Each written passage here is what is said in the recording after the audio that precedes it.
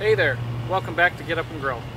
I'm Matt with Earl May Nursery and Garden Center, and today we're talking about one of Earl May's natural insecticides, Bon Neem Oil. It's derived from the neem tree, and it's actually a fungicide, insecticide, and miticide in one.